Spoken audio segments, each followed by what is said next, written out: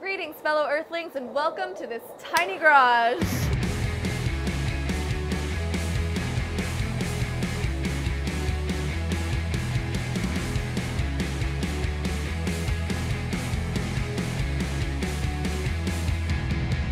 Welcome back everybody. Now some of you may be wondering, with good reason, what in monkey's buttocks has been going on? Well in short, I bought this 911 pre-broken on Craigslist and with your help I was able to rebuild the engine. Then unfortunately 300 miles into the run-in I was trying to fix the transmission and I broke it. It was at this moment that he knew.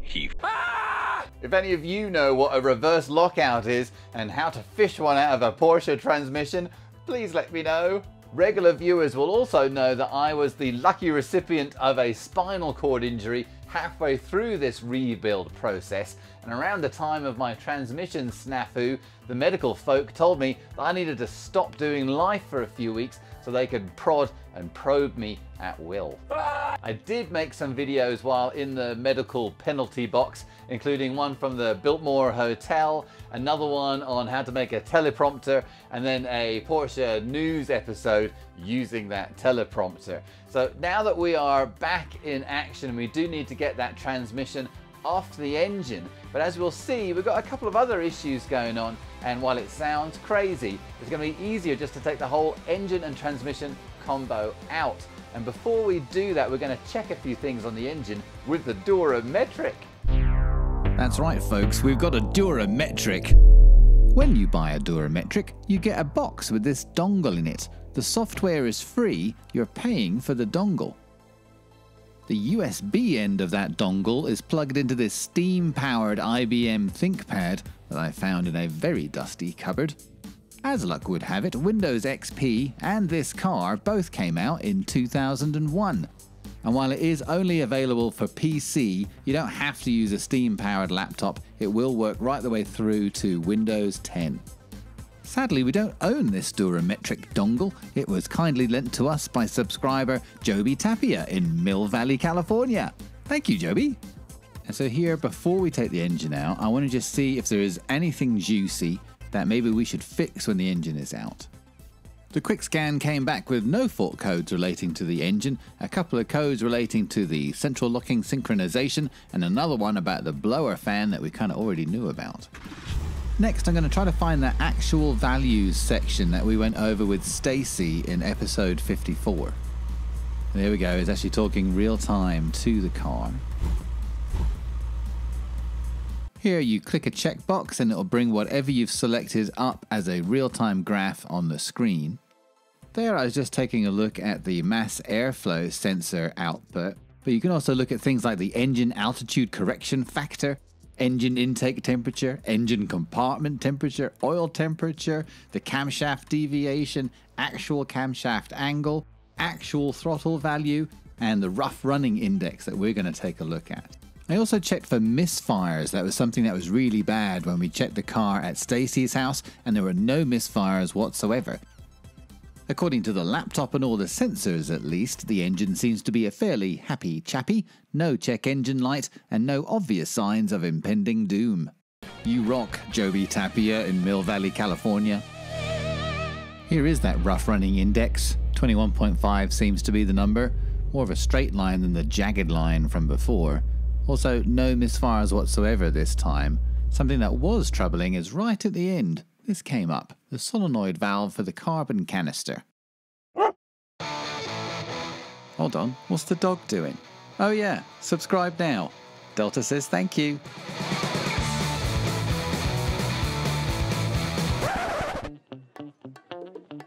While that fault code is most likely referring to the carbon canister solenoid in the passenger wheel well, this regeneration valve is the other end of that system in the engine bay. Both the carbon canister solenoid and this regeneration valve are easy to get to with the engine in the car. But seeing as one of you kind folks sent me a quick way to test this little thing, before we disconnect everything, we're gonna do that. Give it the beans, Kelsey! All right, sure thing. When this regeneration valve opens, it allows excess vapors within the fuel system to get sucked in and burned up by the engine. What we're testing for is if the valve is stuck open. In that case, it will allow vapors into the engine the whole time, causing the engine to run rich. I'm told that if the valve is stuck open, you're going to feel suction on your finger, presumably from the engine intake, but the instructions weren't clear, so I did test both ends. Okay, coming up. I tried it plugged in, I tried it plugged out, I tried shaking it all about, I even had Kelsey saxophone the living jeepers out of it. Not a sausage. I then decided to put my big boy pants on and bench test the regeneration valve with my new Ancel diagnostic leak tester. Thank you, Sally and the team at Ancel, for sending me one. I do have a full review of this gadget in a future episode for you diagnostic leak testing fanatics. The 12 volt battery is running the diagnostic tester, and then the 9 volt battery held on with my thumb is running the regeneration valve. Switching that switch easily starts and stops the smoke. I tried it both ends. Whatever the problem is, I don't think it's this. We're going to move on. Problem that certainly has made itself apparent in the few weeks this car has been sitting is not one, but two oil leaks. The first one here on bank 1 is from the cylinder head cover, right there on the join, in not one but two bolt positions. This one here also seeping very slightly. Because we made videos of this entire ordeal, I believe I have footage from episode 44 showing the offending moment. While it looks okay, there is one small area that is not continuous. Oh dear. Moving over to bank 2 then, the cylinder head cover does seem to be holding tight, thankfully. Bank 2's major malfunction appears to be with this rugby ball shaped solenoid seal. We can see that more easily if we take a looky up here. In short, it's not sealing. We have some undeniable seepage. Those oil leaks can be fixed with the engine in the car, but if you add the transmission issue and a couple of other bits and pieces that we'll talk about as we go along, it's just easier to take it out. I would like if you would hit the like button. Thank you. Have you ever had your AC system evacuated by a professional? Me neither. Those are the hands of a professional, by the way. So you got a high pressure and a low pressure. Low pressure is the blue one, high pressure is the red one. Chris is sucking out all the refrigerant so we can leave the AC compressor attached to the engine. Also, it means we don't have to get a $25,000 fine from the feds for doing it the naughty way. There it is, I had 1.13 pounds. It's supposed to be 1.85 pounds, which is more than a Suburban apparently. Also, I learned that the low pressure hose is always the fat one. Thank you, Jabbo the mechanic. This is officially our second rodeo. It's much easier to get the engine out if you take the wheels and the bumper off. If you want all the gory details, check out episode 2. Would you like some help selling your commercial apartment building in the San Francisco area? Contact Joby Tapia in the comments below. Before we drain the oil, we need to warm up the oil one last time. Kelsey, fire it up. Okay, coming up. Just got it up to temperature there, and then we're all ready to drain the oil. Kelsey can chillax for a bit. Gonna put the lift down there, make our life easy. Got the strainer going. I was wondering why the engine oil was so black, and then I remembered Graphogen. Graphogen. Tell them Wonder Woman sent you. And then I found a big goose poo sized lump of it on the sump plug. Probably no harm done. I'm sure it has done its job. I am happy though that we are now draining this run in oil and we're going to put in the permanent fancy stuff. Changing out the oil filter as well, of course, that was black with graphogen juice as well. This is just your regular paint roller tin. I stapled in some pleats in some kitchen paper to try to catch any juicy morsels if there was any. Despite my initial fears, all the debris I found were little tiny clumps of the graphogen itself, and then one piece of the Loctite 5900 sealant that seemed to have made its way through the oil system. Check out episode 5 if you'd like to see the first time we did this.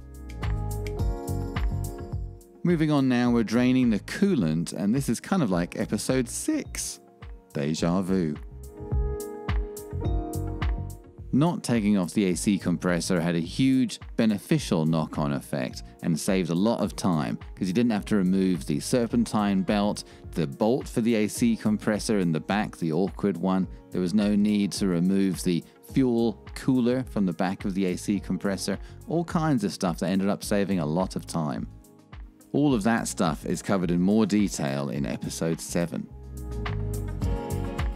Here we're removing a bunch of suspension items from underneath the car, just like in episode 8 the rear axle cross brace, lower subframe, stuff like that.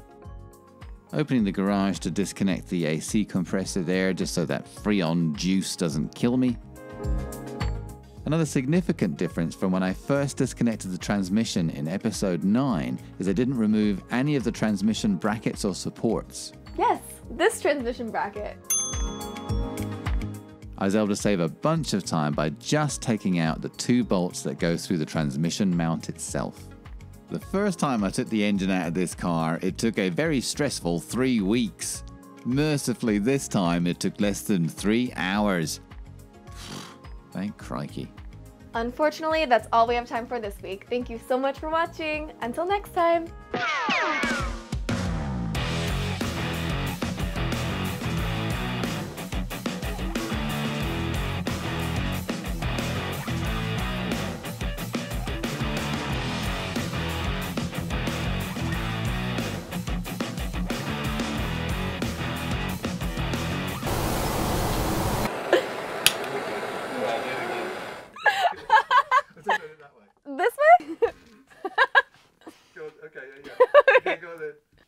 Would you like mhm. Would you like some help selling your apartment building? Are you in the San Francisco area? Contact Joby Pativa. Joby Tapia. Joby Tapia. Joby Tapia. Tapia. Tapia, Tapia, Tapia. Oh, it can't see me if I stand up too tall, right? Is it just like